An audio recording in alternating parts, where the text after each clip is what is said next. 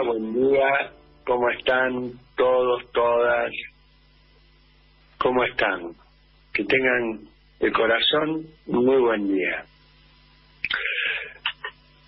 Hoy es un día bisagra en la historia argentina. Son de esos días donde la democracia y las instituciones de nuestro país pasan por la prueba del ácido y atrás están los conspiradores de siempre. Atrás está Manieto, transformándose en el presidente del bloque de la oposición. Está Macri, cambiemos, y su caterva gorila. Y está Edward Prado, embajador de los Estados Unidos, que el día que lo nombraron dijo, ¿eh? Voy a intervenir en la justicia argentina. Y hoy es uno de esos días que está cumpliendo su cometido. Lo de hoy es inusitado. Pretenden consolidar en sus cargos con un fallo de la Corte a tres jueces que fueron nombrados por decreto con por Macri, violando eh, el orden legal establecido, que dice que los jueces tienen que concursar, que tienen que tener acuerdo del Senado para poder ser camaristas. El Senado no les dio acuerdo, los devolvió a sus tribunales de origen y bueno, hoy tenemos esta situación. Aprobaron el persaltum, o sea que esto se tratara hoy por la Corte. Y el país está en vino. Cualquier cosa que decida la Corte es un desastre, a no ser que la Corte se sume a lo que corresponde constitucionalmente y que le diga, miren, si ustedes no tienen acuerdo del Senado, tienen que volver a sus cargos de origen. Así es fácil. Por otro lado, por otro lado, la, la Corte sin llegar a decidir que pueden llegar por decretazo, le abre el camino a Alberto Fernández a que designe por decreto sin acuerdo del Senado a centenares de jueces, lo que sería una catástrofe para ellos mismos. O sea, Hoy es un día donde se pone en prueba hasta dónde llega la densidad, la profundidad, el espesor, el tamaño del golpe en la Argentina. Hoy es un día clave. Estén atentos, ¿eh? no pelotudeen. Miren lo que pasa. Han puesto un puñado de locos en la puerta de la de la Corte, han ido a apretar al juez Lorenzetti a su casa, como antes habían ido a apretar a Massa o a Cristina, que lo hacen permanentemente, todo el tiempo. Lindo gesto el del presidente de la República saliendo a bancar a Massa y a Cristina.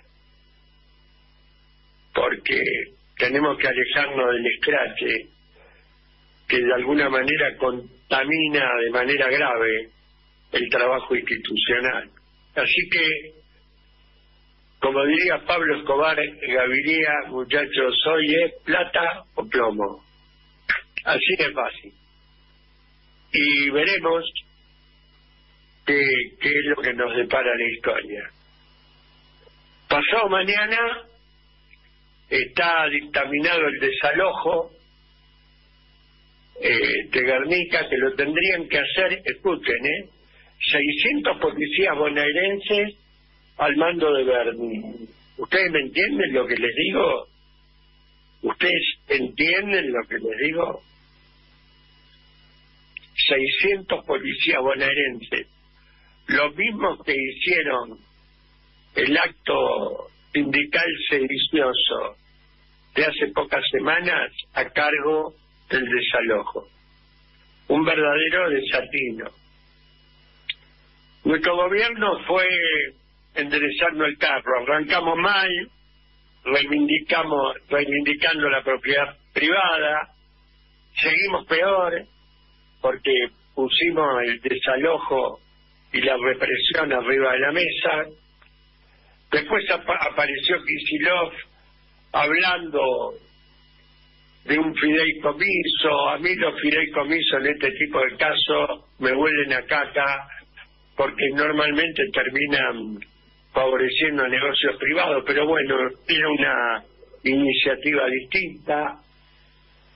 El haber levantado esos discursos hizo que la gente de la toma se enculara, y lo dice no un teórico de la revolución que estudia en la UBA, lo dice el negro de Lía, que vive en un asentamiento en la Ferrera. Entonces, cuando vos, desde el Estado, porque a mí me pasó, la primera bandera que levantás es la de la propiedad privada, el desalojo y la represión, ahí la negrada te levanta la guardia. ¿Qué es lo que nos pasó ahora? Tuvimos un discurso equivocado de movida. Ojalá que esto se pueda cambiar. Qué lástima que no estoy en libertad para poder ayudar a un encuentro entre el gobierno de la provincia y los pobladores. Porque saben qué, lo digo con toda humildad, ¿eh? en villas y asentamientos de todo el país tengo un reconocimiento, es una de las pocas cosas que me hace feliz en esta vida. Le dije a un dirigente de esos que se creen que porque le dan un cargo se suben arriba de una escalerita y te hablan desde arriba del techo y te señalan con el dedo y te indican lo que tenés que hacer, a eso le dije, pendejo de mierda, Mira que yo en las villas y en los asentamientos soy el general Quiroga. Tengo el reconocimiento, el amor, el afecto de miles. Yo llego a un conflicto y la gente me dice Don Luis. ¿Entendés, pendejo? ¿Entendés bien, no? Y el pibe se me quedó mirando. No importa. De qué orga era, no importa. Se me quedó mirando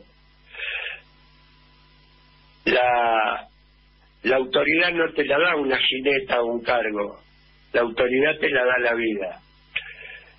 Y Argentina y en particular la provincia de Buenos Aires tiene un grave problema de regularización dominial. Ahora, ¿saben qué? Regularización dominial es una materia que no se estudia ni en derecho, ni en agrimensura, ni en arquitectura, ni en trabajo social, no tiene inserción universitaria. Ahora, regularización nominal, ¿sabés cuánto podrían ser objetos de solución o sujetos de transformación? Cinco millones de argentinos.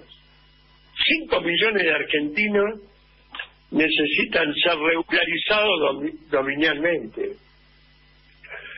Mi compañera de toda la vida, Alicia, en provincia de Buenos Aires fue y es autora de la ley de acceso justo al hábitat, ley 14449. Podrían llamarla Alicia y preguntarle, ¿no? ¿Qué me parece?